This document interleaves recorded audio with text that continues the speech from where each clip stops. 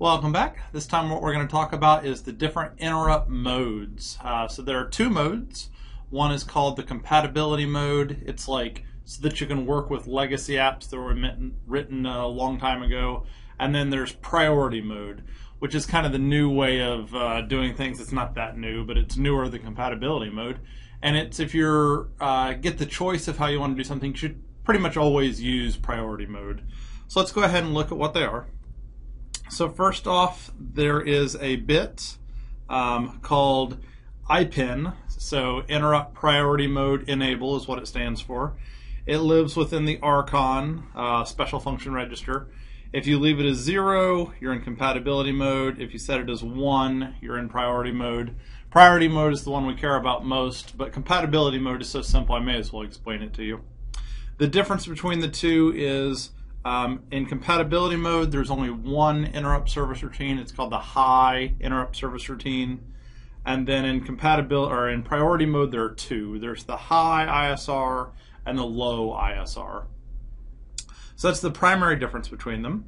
Uh, just to look at some more things, um, in compatibility mode, you always had to turn on interrupts globally. Um, and then if you wanted to use um, one of the other interrupts like wasn't as common. It's called a peripheral interrupt. You also had to turn on peripheral interrupts. You have to turn on global to use peripheral. That's just how it works. Um, so there were still kind of two different things, but they all called high ISR. The new way of doing it, um, you have two global interrupt enables. So there's the high, um, and then there's the low. Comically, you have to have highs on in order to use low. And then the big difference here is that you must set um, each interrupt individually as being high or low. So let's go ahead and look at uh, a graphical description of what I just said, because I like the graphical description. Uh, the graphical description uh, for compatibility mode looks like this. So this is compatibility mode. First thing is you've got to globally enable interrupts. And then you've kind of got this area of cores over here. The core ones, like they decided what was going to be core. Uh, you don't get a choice about it. The core ones, for whatever reason, are the three push button interrupts uh, that we use a lot. So these are the three push buttons we did in the last video lection. The timer zero one, um, and this other push button one that we don't use, this is the like RB4 through RB7 one that we don't really use much. Um, it's also core. And then everybody else that's not one of those five is peripheral. Not sure why they made that choice that way. That's just how they did it, right? And so if you want to use these guys, you have to also turn on that uh, peripheral interrupt enable, which is PEIE because somebody else was called PIE. No big deal and no matter what, it calls high ISR. Looking instead at a graphical view of what priority mode is all about. So you've got high priority interrupts, um, and you can set individually like who they are. Interesting little tidbit. Um, the RB0 interrupt, it can only be a high. Like you cannot make it a low priority, which is weird. I'm not sure why that happened, but it, it's fine. You'll always want it to be a high anyway. Um, so you can set them like individually to be high or low um, by setting the special function register for them. If you want lows to be on, you also have to enable lows. So this is the G I E L, um, and the highs was G I E H bit. I think that's within INTCON, but we'll look at it here in a little bit. And the main difference is it lets you organize your code. So you can have the highs call the high function. Um, sorry, the highs do call the high function, the lows do call the low function, and you can kind of organize it a little bit. The other thing is a high priority will interrupt a low priority interrupt. So you can actually interrupt with like a low priority, but then that can get like superseded by a high priority interrupt. So it's kind of a way to like have something that is an interrupt but not very important, um, and then an interrupt which is very important.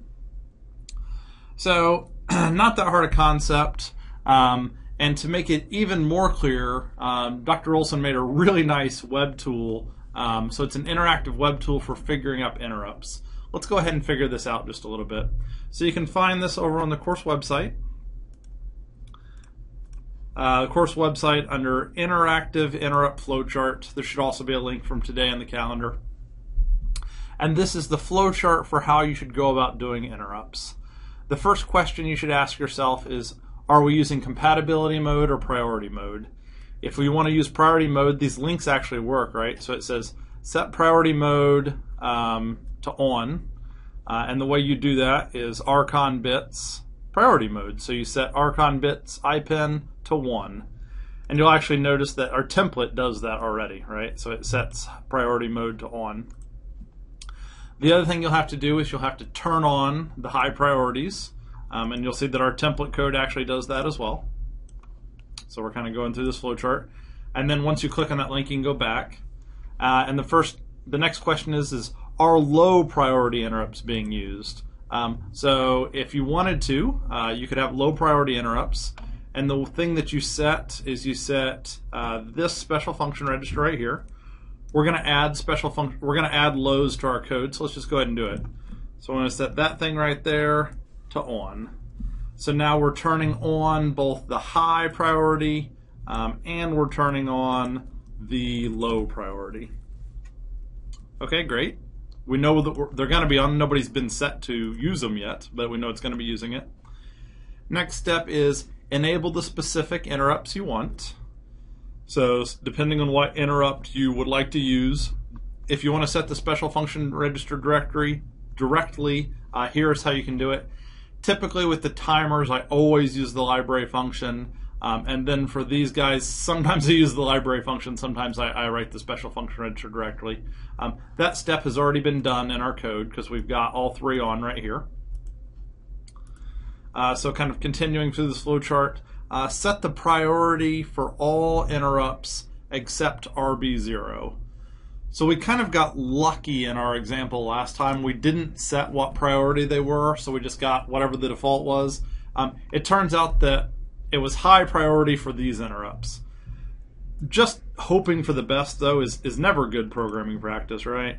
Um, so typically, uh, you would want to set these. And so the way we could set them to explicitly say what we were lucky happened last time is we could say set them both uh, to high priority. If we do this, they will call the high priority ISR. Um, but just for the purposes of example, let's change them to both be low priorities. So interrupt zero is still high because it has to be a high. You don't get a choice. Uh, but these other guys are going to be low priorities. All right, so uh, that should be good. Let's go keep going through our flow chart though. Um, next is, are you using RB0 through RB2? Uh, yes, we are. Um, and if we are, then we need to define the edges. Um, I chose in this example to use the library function, so that's actually already done. And then the last step is write the appropriate high and low ISRs. So the only thing that we need to change for our example for it to like keep working um, is that we move these two guys. So I'm going to move them out of the high area um, and I'm going to move them into the low area. So this is just for example. You could have had them all be high, that was fine. Uh, but I want to prove uh, that you can put them in the low area and it will call the low ISR. So it should work exactly as it did before. The only difference at all is like if you interrupt the low one with the high one, that works. Uh, but you can see that they count up. They should probably still be a little bouncy, uh, which is what we're going to fix next time. So I like to do 1, 2, 3, 4, 5, 6, 7, 8, 9, 10, and then see how big it was. That time it only went to 11. Uh, but you can see the example still works. All right, so that's all I really wanted to do this time. Uh, I just wanted to uh, teach you the difference between high priority uh, versus compatibility mode. Uh, there's the example in here of what we changed to make them low.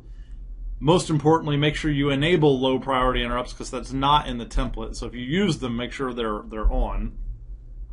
Um, and here's how the code changed to break it up eh, where there's some high, some low.